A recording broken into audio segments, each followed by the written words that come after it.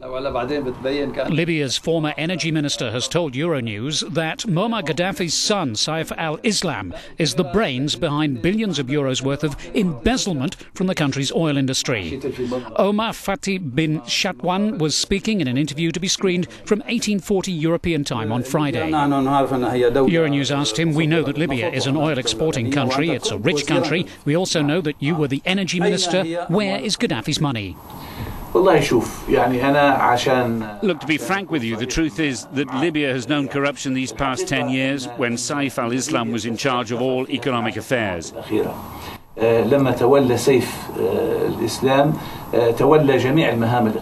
Libyan economy was in his hands. Those